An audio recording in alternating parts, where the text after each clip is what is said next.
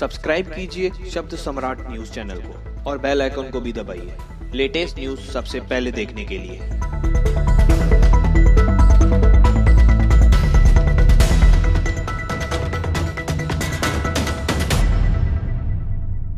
नमस्कार शब्द सम्राट न्यूज़ में आपका स्वागत है। इन दिनों हेडलाइन पुलिस थाने की हर बढ़ रही चोरी लूटपाट की घटना में इजाफा हो रहा है। वहीं इन घटनाओं पर अंकुश लगाने में पुलिस प्रशासन पूरी तरह से फेल साबित हो रहा है। बता दें कि यहाँ के कैंप क्रमांक पाँच के नेताजी गार्डन के बगल में अविनाश इस रानी ने हेडलाइन पुलिस थाने में शिकायत दर्ज कराई है की अविनाश की राज मोबाइल नामक दुकान है। इस दुकान में बीती रात अज्ञात चोर ने दुकान का ताला तोड़कर दुकान से मोबाइल फ़ोन आदि सामान लेकर फरार हो गया। वही अविनाश की शिकायत पर हिल लाइन पुलिस ने अज्ञात चोर के खिलाफ मामला दर्ज कर किया है। वही ये चोरी की घटना दुकान में लगे। सीसीटीवी में कैद हो गई है।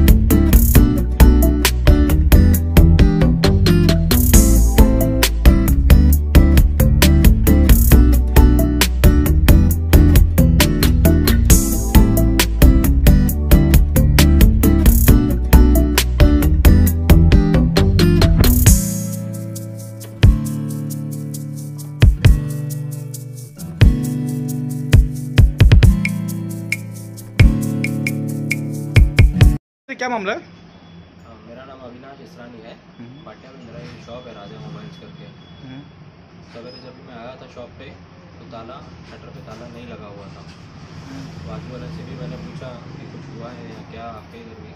तो देखा कैमरा घुमा हुआ है उनका शटर जैसे ही खोला मैंने तो अंदर देखा कि मोबाइल के जो भी सामान है वो सारे चोरी हो चुके हैं।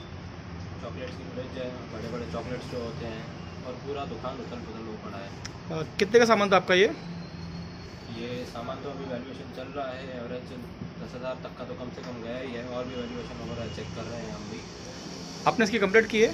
हमने अभी जस्ट पुलिस में कंप्लेन की है। पुलिस आए ने कहा कि 10 से 15 मिनट में ही हम पहुँच रहे हैं आपके स्पॉट पे। शॉप बंद ही रखें शॉप को कुछ भी ऑपरेट नहीं करें। ओके